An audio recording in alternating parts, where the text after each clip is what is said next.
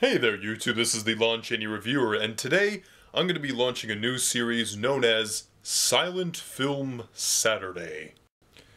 Which every week, or maybe every other week, on Saturday, I will review and analyze a silent film of my choice, or occasionally a viewer will put in a request. Now, some of you are wondering, what about the request reviews? Those silent film requests that you submit are going to be presented on this show. In what order, I have no idea. It's of my own choosing. For example, somebody on my Facebook page requested that I review the Lon Chaney film Mockery, which I personally think is a little underrated. I was going to do this as a request review, then I came up with this series, so if you want to know what the next episode is, it's going to be Mockery and it's not going to be as request review, it's going to be as a silent film Saturday review. So now that has cleared up the confusion, let's get all stone-faced about Buster Keaton's The General. Okay, now before I get into anything, I just want to say this is probably where I'm going to do my series in front of my silent film shelf. For those of you who know me, I usually film my footage at that desk um, please tell me which location you prefer for Silent Film Sunday. Would you like me to go back to the desk or this shelf? Um, just comment below or comment on my Facebook page even. So, yeah, let's get to this review.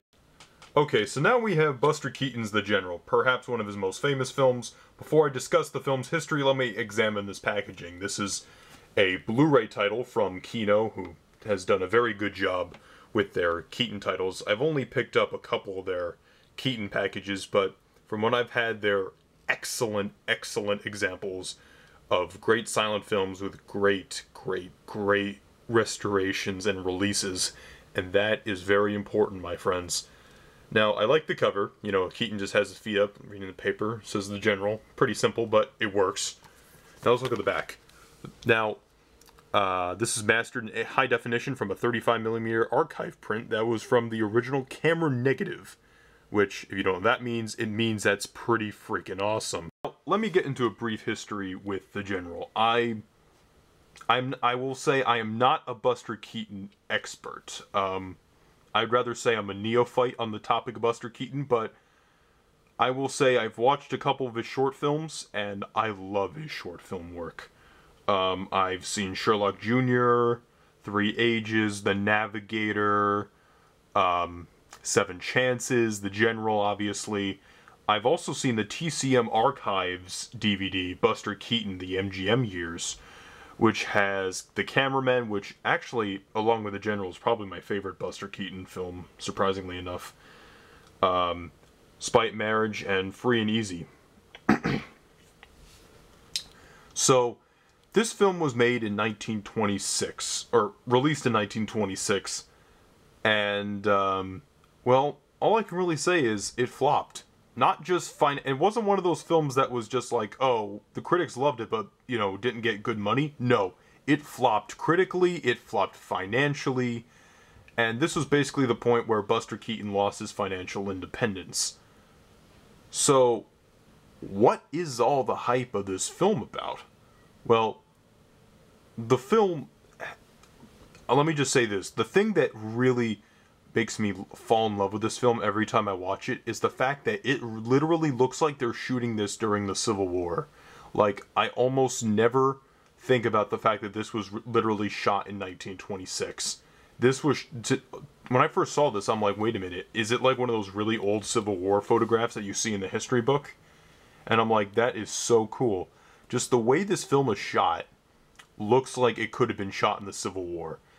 And to maybe the untrained eye or maybe just people who know bet who don't know better, it literally does look like it was shot during the Civil War. So that's actually my favorite aspect of this film. My other favorite aspect is that I like the story. Now, this film, a lot of people could classify this as a comedy, and I will not say it's a comedy.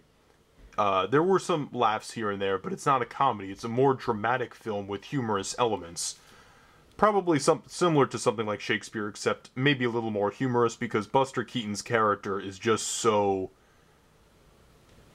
open for a comedic interpretation. Because I mean, he's the great Stoneface, but in my opinion, I think he's a better actor than Chaplin. But I'll explain that in a future episode of something. But anyway, the film goes that he is the engineer of a train. He loves it. He loves his train, and he loves this girl Annabelle Lee. And he's gonna enlist in the war, but they say, "Oh, you're too important." But they don't tell him that directly. They say he's an engineer. He's too important.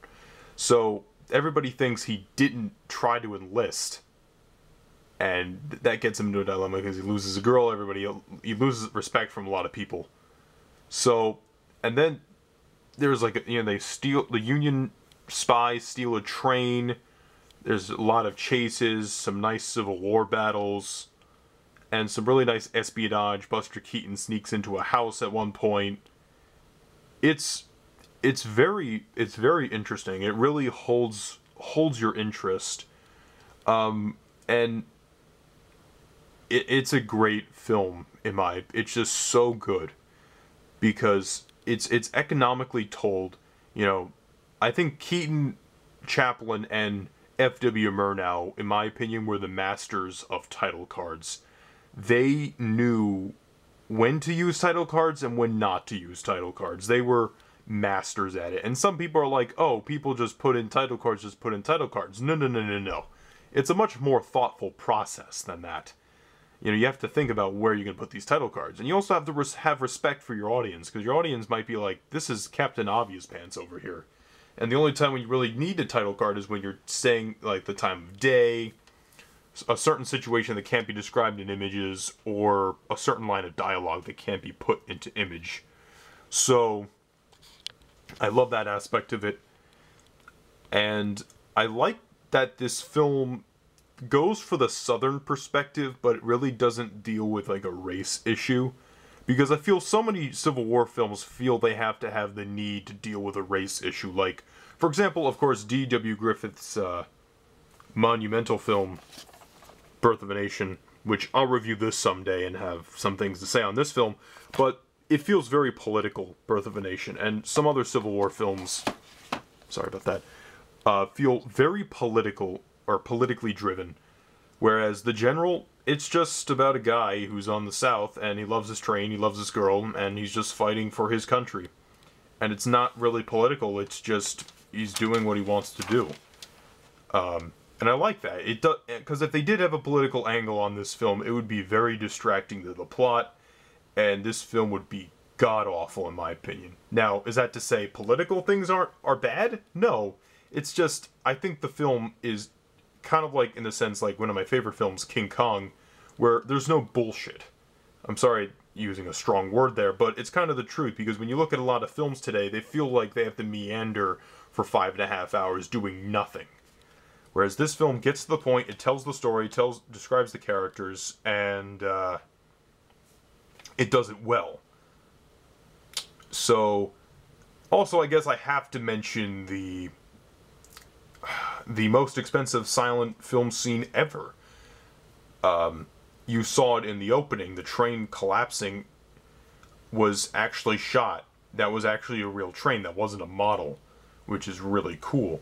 Um, now, the interesting thing about that scene, it cost, I believe on the one of the supplements it said it cost forty two thousand dollars, which is a lot of money for nineteen twenty six considering that a budget of a film's usually like a million dollars back then. Or not usually, but expensive films were like a million dollars, prestige films. And it, it, the bridge explodes and the train crashes. It comes crashing down.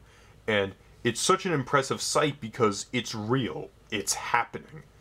And that's the thing with like digital effects. You really don't feel anything because nothing's really happening. Whereas a practical effect or something really happening, you get a more emotional, resounding impact because that is what's going on on screen, literally. Um, do I have any criticisms of this film? Not really. I mean, I could criticize the fact that other than Buster Keaton, I really don't remember any of the characters in this film. Like, say what you will about Chaplin and him being the center of attention in his films, but at least some of his supporting characters were memorable characters. I mean, I just I'm not saying I'm not trying to insult anybody here, but I never found a lot of Buster Keaton supporting characters to be memorable. But maybe that's not the point. Maybe I'm being too harsh. Um, but in the end, I can't recommend this film enough. This this is a monumental achievement in silent cinema, in storytelling, in a dramatic piece. And if you're someone who's just starting out with silent films, um, just realize that this is not a typical Buster Keaton film, in my opinion. Yes, there are there are some great stunts and some great things that happen, and he is a great technical filmmaker. But this is not a comedy, in my opinion. Uh, if you want a Buster Keaton comedy, go check out um, The Cameraman, Sherlock Jr., Navigator. You know, those are more like comedies. So check those out. But if you really want to check out The General and want to see why it's praised so highly, I recommend doing some research beyond this video and check it out. So, yeah, that's about it. Next time I'm going to hit you guys up with Mockery. Also, if you want to take a minute below, I have my Facebook page in the YouTube description box, and I also have a Twitter account.